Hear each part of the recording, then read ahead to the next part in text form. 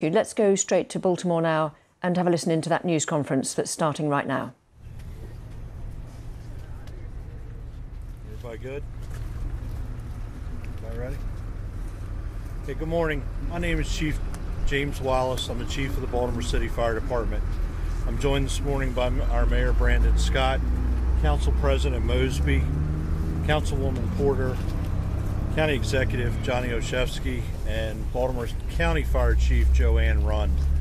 Um, our brief this morning will be an update on the search and rescue operation that's ongoing at this point. So at approximately 0140 hours this morning, our 911 center dispatched a call to the Baltimore City Fire Department for a report of a water rescue um, in the Patapsco River in the area of the Key Bridge. As units were responding, they began to receive numerous calls indicating multiple people in the water. At some point during that, that chain of events of calls, uh, we began to receive indications that a, uh, a ship may have struck the Key Bridge. We got further information through multiple calls that the Key Bridge, um, portions of the Key Bridge had actually collapsed.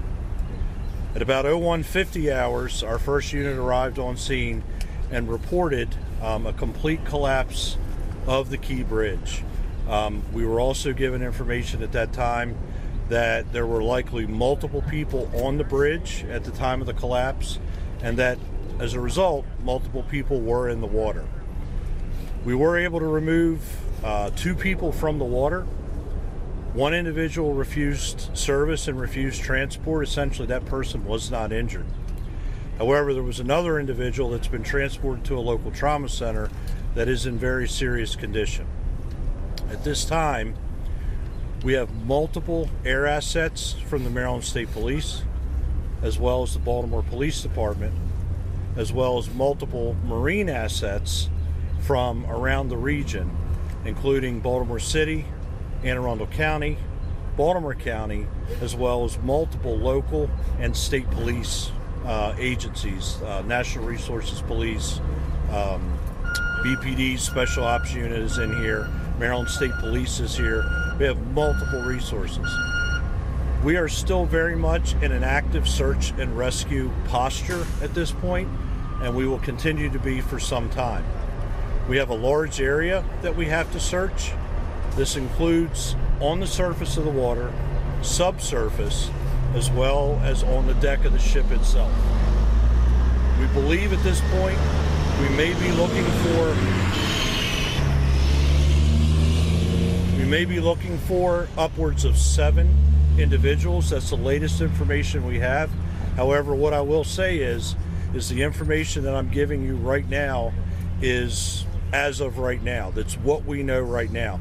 Um, this is a very large incident. It involves a very large footprint. Multiple agencies are operating, therefore, information is subject to change as we get more intel um, and as our crews work through the morning. Um, over the next 8 to 12 hours, you can expect to continue to see um, our air and maritime assets functioning um, out on the water and in the air above. Um, we need to do damage assessment of, of the ship itself before we can board that ship. Um, and we need to continue our subsurface search, which is including different types of sonar. We have side scan sonar, we have other sonar capabilities here. We have underwater um, UAVs that we're working with.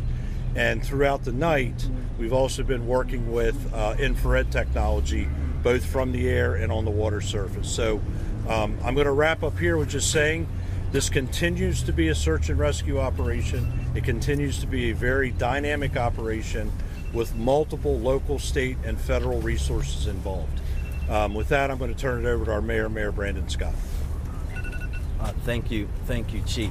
Uh, everyone, this is a unthinkable a tragedy. Uh, we have to uh, first and foremost pray for all of those who are impacted, uh, those families. Uh, pray for our first responders and thank them, all of them working together city, state, local, to make sure that we are working through this tragedy. This is an ongoing active uh, research uh, that we're having right now. We're going to continue, as you heard from Chief Wallace, to, throughout as long as we have to be doing that, we will do it. uh, but we have to be thinking about the families and people impacted, uh, folks who uh, we have to try to find and save.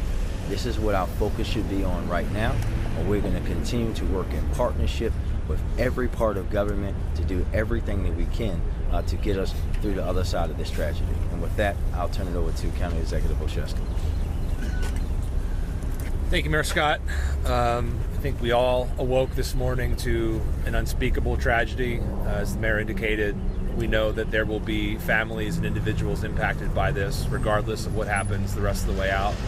Uh, so I would just echo the mayor in lifting up prayers for those who are impacted, but also ask that our residents pay, pray for our first responders. Um, you know, they have been on scene since very early in the morning um, not only conducting initial search and rescue operations, but planning for additional ones as the sun comes up. And um, you know, the work that they do cannot be understated. And just, I want to just thank them for all that they are doing and, and will do in the hours and days ahead. Uh, we know that we have a long road ahead, not just in the search and rescue, but in the fallout following this. Uh, I think we appropriately have our attention on the search and rescue efforts currently uh, and just here alongside uh, our partners in the city to say that they have our full support, just as we want to thank um, our state partners for the, the resources they've offered up, uh, as well as uh, the federal partners who have already reached out. Uh, the mayor and I have talked to the governor. We've, we've heard from the Secretary of Transportation. So collectively, we thank everyone for their thoughts, their well wishes. Uh, but again, this is a very active situation, and we want to just thank uh, the chief and our teams for all the great work they're doing. And with that, I'll turn things back over to the chief.